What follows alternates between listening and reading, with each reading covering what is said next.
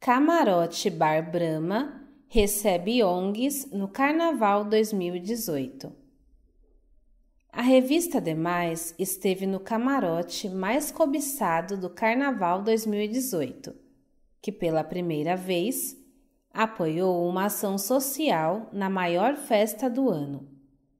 O camarote Bar Brahma recebeu jovens de instituições sociais e a organização Apoio, que assiste pessoas em estado de convalência e deficiência em São Paulo. Todos acompanharam o desfile das escolas de samba do grupo de acesso. No desfile das campeãs da sexta-feira, dia 16, o grupo Apoio marcou presença no camarote. Estivemos presentes no sábado, dia 10, e agora no desfile das campeãs. Isso é maravilhoso. Eu nunca tinha vindo em um camarote. Tem pessoas interessantes aqui.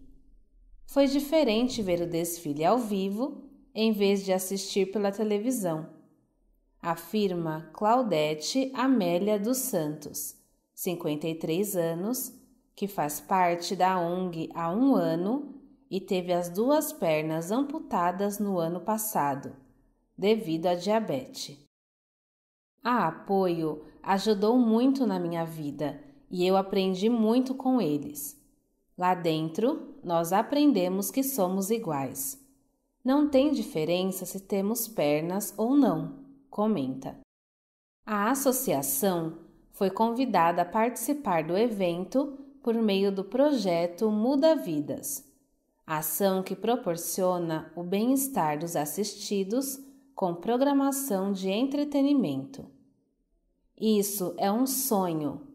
Para quem gosta de carnaval, isso aqui é um sonho de consumo. Eu desfilo no Carnaval de São Paulo há muitos anos e nunca tive a oportunidade de estar num camarote da Brahma e ainda mais com o público que eu assisto. Marisa Rosa Barbosa da Silva, 55 anos, enfermeira e gerente da ONG Apoio há 10 anos. Segundo Marisa, a acessibilidade do camarote atende todas as demandas das pessoas com deficiência e a recepção dada a eles é muito competente. Isso é importante para a inclusão social. Quando trazemos essas pessoas num espaço como esse, acaba elevando a autoestima de todos. Eles dizem assim: puxa, eu posso. Estamos no meio de artistas, juntos e misturados. É gratificante. Finaliza a gerente.